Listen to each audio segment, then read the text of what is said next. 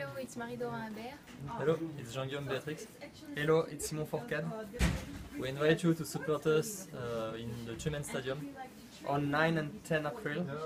for the Champions Race and the prize of the Governor. See you there. See you!